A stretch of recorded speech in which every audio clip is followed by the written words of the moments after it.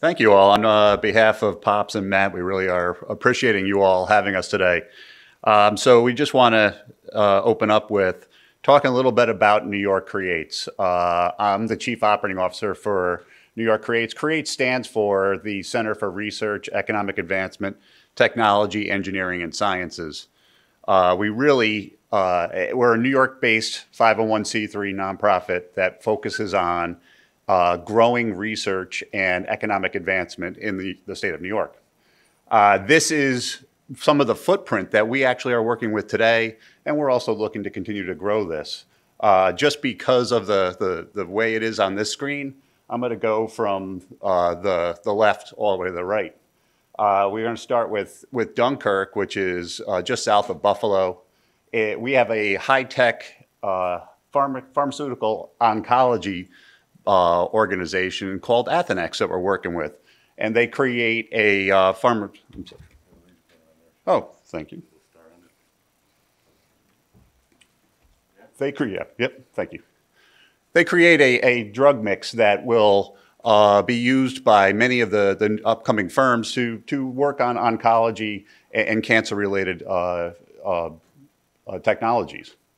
Uh, in the Buffalo area itself, we have a number of locations, including the uh, Tesla Gigafactory that focuses on uh, the rooftop shingles. So it's more of the solar side uh, of Tesla that is embedding solar panels into roof shingles. Uh, and actually here in California, they have a larger majority of, of the, the roofs that uh, Tesla makes are being embedded today along with, uh, again, Athenex, one of our partners, which was a spinoff from the University of Buffalo and the Kaleida Health uh, Organization. So they have their, their medical center there. Uh, and then Curia, which is formerly known as AMRI, also has a uh, incubator there for their drug delivery systems. And as we keep going north, I'm going to talk a little bit more about the Rochester area. New York Creates is uh, the overseer of one of the federal manufacturing institutes. Uh, AIM Photonics is, is uh, one of those institutes that focuses on embedding lasers into silicon chips to uh, bring light uh, into the processing to move faster. And, and this Rochester facility is our test assembly package area, which I'll go into a little bit more. Uh, going all the way to the right still is in our uh, Syracuse area is a company called NexGen, focusing on power electronics using GaN on GaN. Uh, up north in the uh, New York State is in our Plattsburgh area is our North Country uh, hub of innovation, which is a partnership with Norsk Titanium. They're a 3D printing company. They use titanium rods in a 3D printing process to create aeronautical uh, parts uh, including uh, things for DoD and, and NASA. And then uh, in the middle area, we have some. We have two new partnerships. Uh, one of them is uh, the most recent is an announcement that Wolfspeed, formerly Cree, moved uh, their silicon carbide processing from North Carolina up to New York, and this is opening their world's first 200 millimeter uh, silicon carbide factory, which they will focus on the power electronics. Uh, next to that facility is also a partner of ours, uh, Danfoss Silicon Power, and they take uh, and package uh, chips for, for power devices. But our main facility that we do much of our research work is in Albany. It's the Albany Nanotech facility. It is the only uh, 300 millimeter research and development publicly owned site uh, in the US. Uh, it is one that we are very proud of, and I'm going to talk a little bit more about that in a minute. But let me just talk to you a little bit about New York and the ecosystem uh, so, you, so we can better familiarize ourselves outside of what New York Creates does. New York has a very healthy semiconductor ecosystem. It's the third largest semiconductor ecosystem in the US. Uh, 88 semiconductor companies are currently established, and we're continuing to grow those. That doesn't necessarily always include the, the startups um, and the, the small and medium-sized businesses, but uh, that's a, a, a, nice number. Uh, and, uh, you know, between the 34,000 direct jobs, it also uh, approximately $3.5 billion of, of money that is annually uh, dispersed in wage, wages uh, throughout our semiconductor industry. So let me talk to you about the Albany Nanotech Complex. If you're not familiar with it, uh, it's in Albany, New York. It is the only publicly owned 300 millimeter research and development uh, organization uh, in, in the US. We really have very little comparators in the world. You start talking about IMEC, LETI, the Fraunhofer Institute as potential comparators at that point. We have over uh, uh, 152,000 square feet of space. 120,000 of that is for direct clean room on waffle clean room. They're all class A 100, class 100 clean rooms. Uh, we have more than 2,700 people that work on the site on a daily basis. And we've had a number of successful uh, programs that have run through there today, uh, including the Global 450 program, the Center for Semiconductor Research, a AI hardware center, uh, Sematech, and a materials engineering technology accelerator, otherwise known as META as well. Um, we really have a history of achieving a lot of things on this site, but most recently, IBM, who's one of our main partners on that site, announced that they developed the world's first two nanometer process chip. Uh, and that was uh, roughly about three months ago, they announced that that process happened in, uh, at our site. Um, also, last year, IBM announced that the chip that they created on the site early on, roughly about 2018, is now being used in the fastest uh, server chip or server in, in the world IBM has now reclaimed that from, uh, from uh, overseas. We also, in addition to the wafer side, which Albany is really our wafer processing, in Rochester, we have our test assembly package facility, which allows us to take the both front end and back end and combine that. It's a 12,000 square foot facility uh, with really wafer and chip scale testing as well as the packaging component. Uh, this is also a, a, main part of our AIM Photonics program, our National Manufacturing Institute. As a nonprofit research organization, we're also very proud of the workforce development uh, partnerships that we have. We obviously, being a state organization, are very connected to uh, the state university, which is the world's largest uh, state university, comprehensive state university. Uh, we also have a number of partnerships with significant uh, private schools, including uh, Cornell, Columbia, Clarkson, uh, RIT, U of R, um, RPI, et cetera.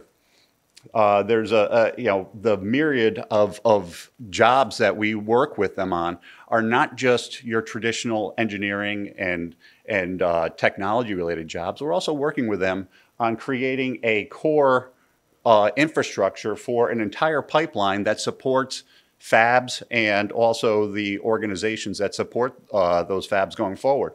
And that includes not just uh, you know, your regular jobs, it includes your, your trades, uh, your electricians, your HVACs, your ultra pure water, uh, and construction organizations that help will drive the, the uh, portfolio and, and, um, and job line going forward.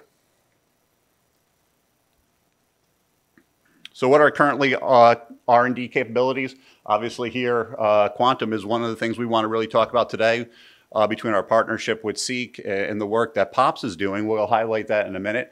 But we also focus on neuromorphic computing, uh, integrated photonics, obviously with our AIM uh, nationwide footprint there.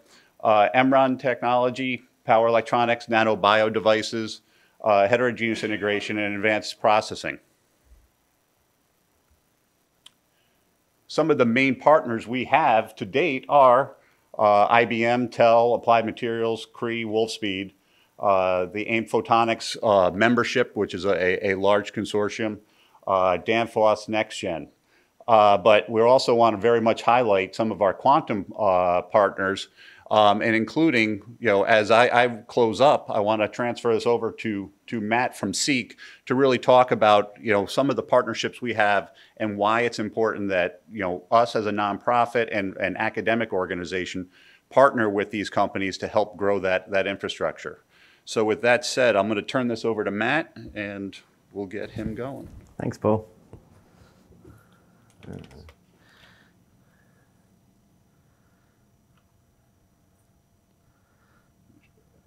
Yeah, that one. Cheers.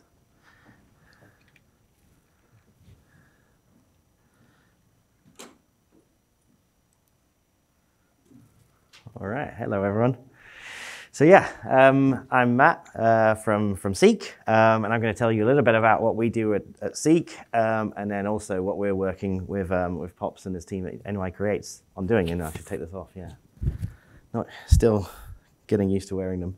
Um, so what is SEEQC? You know, before we dig into kind of like the details, I'd like to give a bit of an overview about about who we are, where we came from, um, because we're not your your conventional kind of startup. We we spun out um, of a company called HYPRES, who themselves spun out of IBM in the early '80s, um, and they have become uh, and still are the world leaders in, in superconducting digital electronics, um, and have some really fantastic um, kind of products in the in the kind of government space.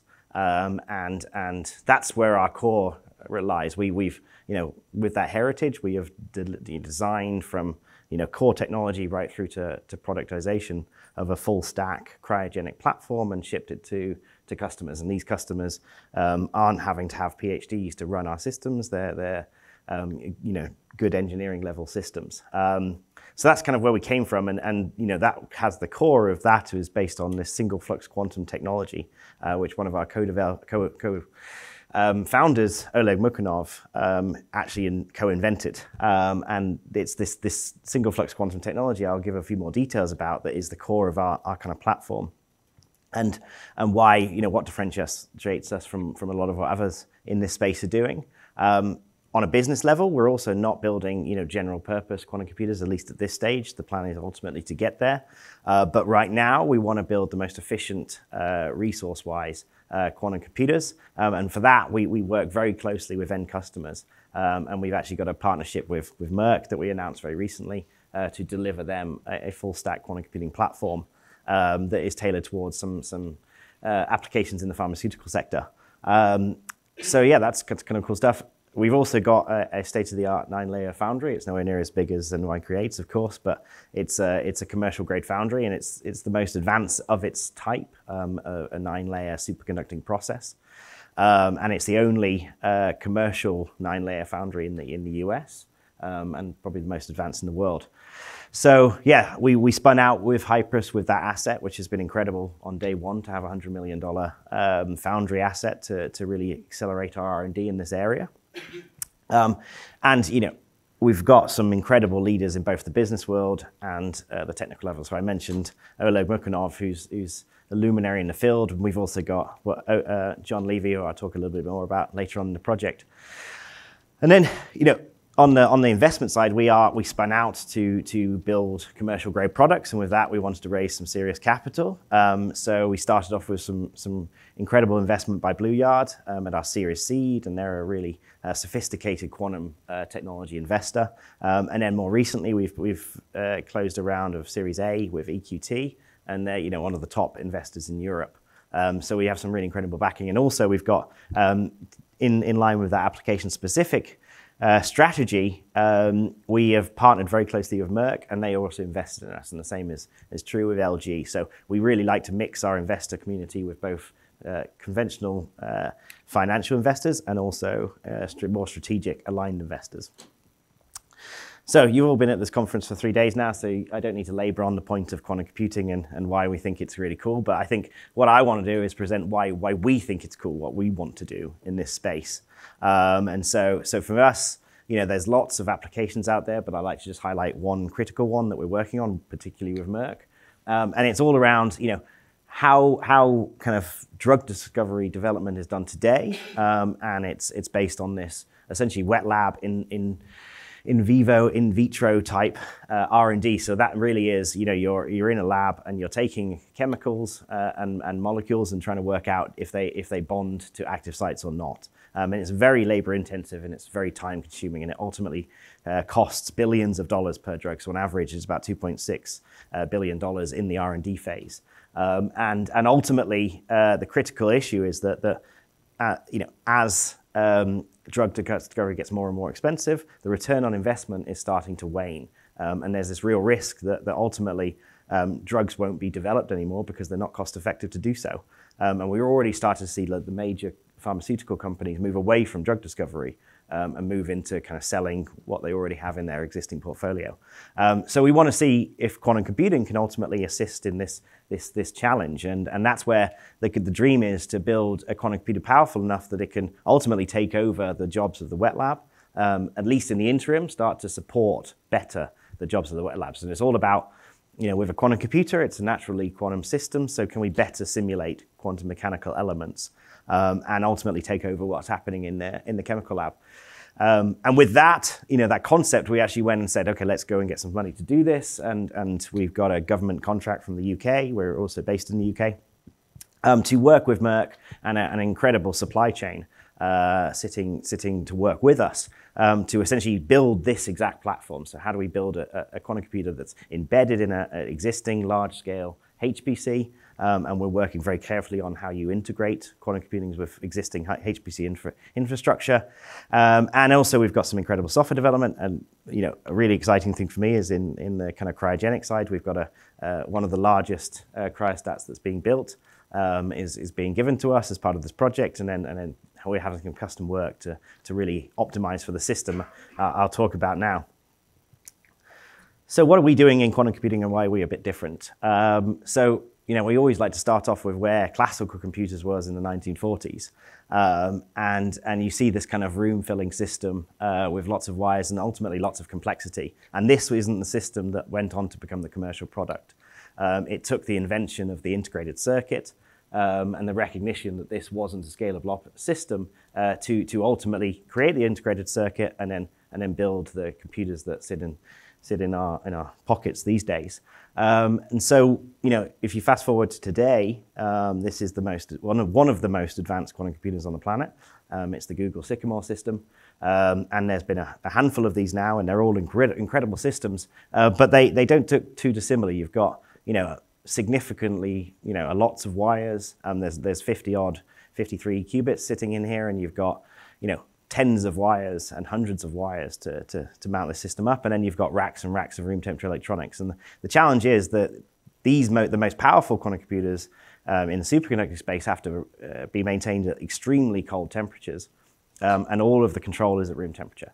So this, this, you know, the, the great thing about this is it works, it functions, and it's full stack. So you can actually run algorithms on it. And this, as a proof point that we can build quantum computers, this is incredible. But what we want to think about is how do you take this and turn it into the, the kind of scalable um, commercial grade systems that, that ultimately customers want to buy. Um, and so, you know, what we want to do is, is remove a lot of this complexity. And that's what we've done with our, our SFQ technology in a series of, of, of digital chips that take a lot of that functionality, most of that room temperature functionality, a significant portion of those wires um, and convert it into on-chip integrated circuits. So rather than having you know, room temperature control, we have on-chip integrated circuits. And these, because they're SFQ-based, they're single flux quantum based on a superconducting architecture, they naturally want to sit in the same temperature ranges as qubits. So we actually can integrate uh, this circuit with qubits uh, in a common integrated circuit. Uh, we do it in a multi-chip module way, so it doesn't decohere the qubits. Um, and ultimately, this thing um, is the integrated circuit of the quantum era, in our opinion. Um, so it's, a, it's kind of the first chip, truly chip-based. You hear a lot about chip-based solutions, but those chips still need to be controlled by optics or, or lasers and things like this. This is the, the digital chip-based solution for quantum computing. So let's talk about, you know, it's kind of an abstract concept, so let's build up what a quantum computer looks like in this format. Um, and you start with, you know, the important bits, the qubits. Um, but, but the critical thing is these are really unstable, they're really difficult to control. Um, so how do we start to stabilize and build a system around this? Um, and it starts with you know, our core layer, which is the SFQ, uh, low, lowest temperature SFQ processes. This is a unique technology. It's, uh, it's, been, it's been designed since, since we spun out that ultimately we can, we can co-locate the most energy efficient versions of our SFQ circuits and directly bump bond them uh, to uh, qubit technologies. And with this, what we're getting is essentially um, the lowest latency where we can stabilize the qubit performance. So um, in the nearest possible time, in the lowest possible latency, we can take the qubit, read them, read them out, and stabilize them and correct them. Um, and so, you know, we're talking really tiny latencies, and, and this chip is clocked at 10 to 40 gigahertz. Um, so it operates extremely fast and faster than the qubits, which is kind of critical for, for this technology area. Um, and we've, we've got a, a, whole firmware team that are building you know, how to take advantage of this kind of core layer. Um, and then the other kind of unique thing about our system is it can start to take advantage of other areas of the, of the, of the cooling power of a system. So, you know, you see these chandelier type um, computers from IBM and Google, and, and they've got all these different temperature stages and lots of cooling power that's just going to waste. Essentially, it's not being utilized um, because they just want to get something as cold as physically possible.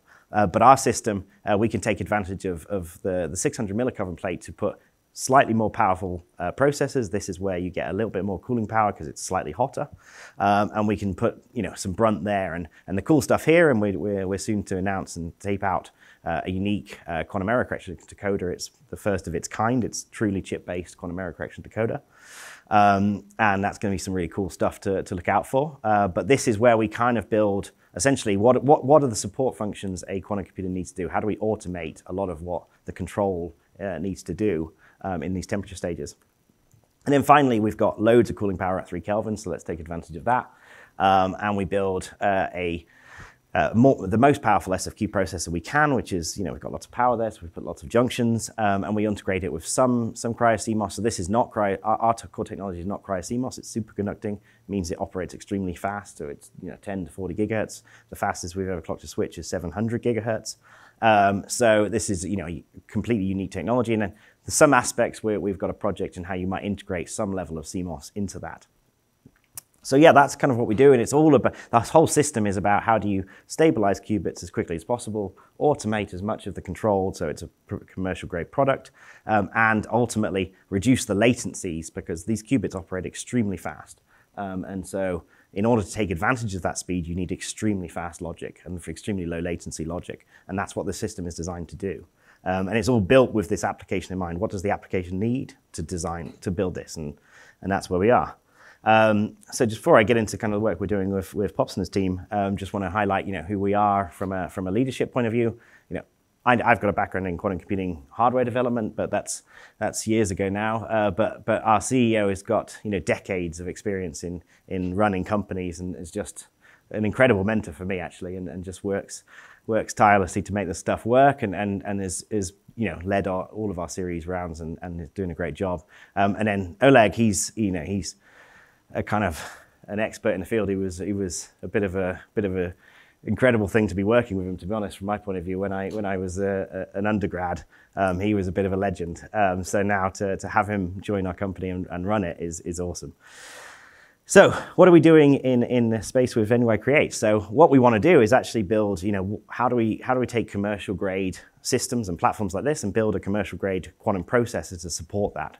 Um, and it really is about how we go to a, you know, a commercial CMOS grade type uh, wafer line. It's a 300 millimeter process. Um, and you've heard a lot about this from you know, the, the, the likes of PsiQuantum, that this is kind of critical to scaling up these systems. Can we move to a 300 millimeter process? Um, and we want to do it with a, an advanced new type of qubit uh, that, that has some serious advantages from a commercial standpoint. Um, so, you know, Pops is going to give a lot more details now. I just want to give a highlight of what we're doing. Ultimately, the, the vision is to create this, this, this wafer scale, this 300 millimeter wafer scale line uh, with um, a higher, a, a, a, this qubit based on a fluxonium, uh, which is ultimately shown to be much higher coherence than your, your current technologies, uh, your transmon type qubits um, and is just a really nice qubit to work with. And we also want to work with some advanced materials that, that NY Creates can, can work, have some great expertise in. So how do we both improve the design of the qubits and also the functionality through the, the material choices? Um, and the goal is to get wafer scale greater than 100 microsecond kind of qubits on a 300 millimeter process, which would be incredible. Um, and we build this into our kind of core uh, platform. So this is the multi-chip module uh, that I talked about. You saw the slides from earlier. Um, on top is the qubit chip. Um, this is one of the first generations qubit chips we've got uh, from these guys. Um, and then we've got our control layer, and you bump on them together. And we've done you know, lots of simulations and figured out this stuff works. And then the immediate next step is to start testing them uh, cryogenically. Um, so yeah, we want to finish on some goals. This is, this is it, really. We want to build 300 millimeter wafer scale fluxoniums. Um, and this will be the world's first if, if we achieve it, which is incredible. Um, we also want to use the world's first kind of all tantalum-based uh, qubits. So this is that unique kind of taking advantage of the material science uh, that these guys all know about to, to really how do we get to better coherence qubits um, with better designs, and it would be the world's first uh, 300 millimeter uh, wafer scale fluxonium qubit array. So these are some pretty big big goals and milestones we want to achieve. But with that, I'll uh, pass over to, to Pops.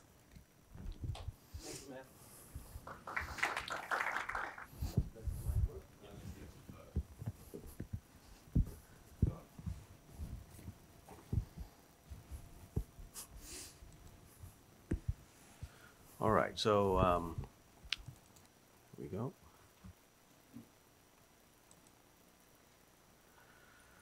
Uh, thank you again for joining us today. Um, I know we're sh- short on time. Uh, I want to tell you that we are at booth E4, so happy to uh, discuss uh, this in greater detail during the day today. I'm also here tomorrow, so uh, we can also look for time uh, later on. But um, just to go on to the, let me know how to do that. Oh, there we go. All right. So I want to talk about the DNA, our DNA that we have, right? I mean, our, as Paul mentioned, we are the only uh, publicly owned 300 millimeter wafer fab, um, and uh, that comes with an incredible uh, process team uh, that I'm proud to be a part of. Uh, but because we are nonprofit, right, it is it is natural for us to value collaborations, to focus on our continuing innovation in high advanced technology, but to support the out diffusion of that uh, technology that we develop through the quantum ecosystem, right? So the other main point is that because we are, um, you know, uh, most of the team has got a decade or more each of experience in advanced uh, semiconductor technology fabs, we think that we need to do our, our work at a scalable um, uh, level. So we work with advanced tooling, and when we develop the technology, scaling to even higher volume manufacturing fabs is that much easier. And these points are critical, right? we think, just like the semiconductor industry exploded when the PDK mindset was adopted, we want to make sure that we develop a quantum PDK, a superconducting quantum PDK, in partnership with uh, people like SEEQC and others. And we want to make this PDK open so that you know we can foster uh, its uh, its dissemination, its utilization by design uh, engineers across across the community. The other main point is rather than looking at each individual piece of the quantum system um, individually and ignoring the nearest neighbor interactions uh, that are important for atoms and they are important for systems as well, we want to make sure that uh, you know, we look at the system holistically, take care of what the interfaces are with the, uh, let's say, uh, the I/O system, and so for that is an example of how SEEQC, for instance, is trying to do that. And um, we, I'll give you other examples of how we are thinking of this at a, uh, at a system level. So just a quick shot about where we started. Back in 2015, we were able to produce the world's first 300 millimeter scale qubits. We use 193 nanometer optical lithography, and thanks to our partnership with Dave Pappas, uh, and also with uh, the Osborn Group in Maryland, we were able to show that the very first qubits we, were, we ever tested had lifetimes, coherence times of 25 microseconds or so. Um, but here we use shadow evaporation. We were doing what everybody else was doing, except we use 193 nanometer lithography for the uh, Dolan bridge so that we had a whole wafer level of, uh, uh, of Dolan bridges and Josephson junctions and transmons to work with. But since then, we have basically taken you know stock to to try and do things, re-engineer everything. So now uh, we are working on a process that is full 300 millimeter scale compatible. There is no wafer cleaving into small coupons. Uh, we, as uh, Matt mentioned, we are working with alpha tantalum. We know that the superconducting transition temperature of that is 3.8. We use ALD tantalum nitride as the barrier. Tunnel barrier, we confirmed which SEEQC's help, uh, that it is um, not superconducting down to 8 millikelvin. And this process is our first iteration, if you will, where we were using a RIDE top electrode. And since then, we are using advanced processes like chemical mechanical planarization in order to develop um, a uh, sacrificial oxide approach. So when all is said and done, we're back down to no uh, dielectrics with TLS uh, that we have to worry about. But we, we are able to achieve very tight control on the dimensions, which we think will translate into control in the uh, qubit frequencies and their uh, performance characteristics. The other thing we are also trying to do is to try and work to shrink the size. So if we're able to develop high Q capacitors that use silicon as the dielectric, imagine you've got, this is work in progress. Um, uh, our first iteration showed, yes, we've got, uh, you know, uh, tens of attofarads uh, per, per micron uh, capacitance density. But by replacing um, uh, interdigitated capacitors that are at the surface of the silicon with embedded ones, we hope to be able to make higher Q capacitors and replace the resonators that you see with lumped element resonators. And then uh, the other aspect of having uh, high Q capacitors is uh, high kinetic inductance nanowire structures, which we are working to integrate into single photon nanowire detectors for neuromorphic computing, actually, as well as uh, high kinetic inductance uh, elements that could be used in uh, quantum computing hardware. The other thing that we are doing, which is perhaps another example of the system level integration considerations that we're doing, is um, developing aluminum nitride as a, an electro-optic material and a waveguide material that can support a um, you know UV transparent structure so that we can interface with uh, trapped ion qubits. This is work that is done uh, in partnership with RIT and is supported by AFRL. A lot of our work, I should say, is uh, is supported by AFRL. We are fortunate to uh, have uh, that partnership. Um, we have some of our first chips are being tested at AFRL thanks to um, uh, people like Matt LaHaye uh, and um, Jack Lombardi. And so we have shown that yes, we can pattern aluminum nitride. We can smooth the top surface of the aluminum nitride to unprecedented levels, uh, world-beating levels, and we need to work to figure out um, to uh, address some of the issues. Um, open kimono here, we need to solve a major cracking problem, but we think that is because we were too uh, greedy in terms of the thickness that we went to, but we should be able to do that uh, in the first months of next year. So I want to take two minutes to say why 300 millimeter for quantum and dispel the idea that it is about uh, number of chips that are coming out of my ear, right? It is more about the advanced process capability. You are able to do in situ process monitors, in situ process control that are not available in uh, more uh, older generation tools. We operate, in the, the pictures that you saw in Paul Kelly's presentation, in a fab that adheres to all the protocols that you would see in a modern high volume 300 millimeter fab. Uh, what does that mean for us as quantum scientists? It means that it gives us higher signal to noise ratio in the experiments. Less time that you waste in trying to figure out, was this a fluke? Can we reproduce it? And it also allows us to develop that open PDK that I was talking about. Um, and I also talked about the fact that because we have access to MRAM materials and so many, we can integrate multiple technologies on chip to develop that system. This is more of an eye chart to say, you know, we have a variety, slew of materials, and here are the magnetic materials uh, and all, all of them. And by developing these technologies in a productive, in a, in a predictable and reproducible fashion, we should be able to support a whole slew of end, end uh, applications that we want to work with in, uh, in partnership with people all over the world. And um, this is a vision for what um, the uh, sort of operation that um, NY Creates can support in, in the quantum ecosystem. You know, we have a state-of-the-art fab. We are already working with, uh, uh, with other small companies, uh, startups, to develop an annex for new materials that are brought into the 300 millimeter fab. We are, as you heard, uh, partnering with, uh, with both companies um, to evaluate new technologies, to develop the PDK. We are working with entrepreneurs, we're working with academics, uh, national labs. I'm fortunate to have relationships with AFRL, with C2QA uh, based in Brookhaven National Lab, as well as uh, NIST. And with that, thank you. I'm sorry I didn't catch the time. I hope I didn't keep you for very long. Thanks a lot.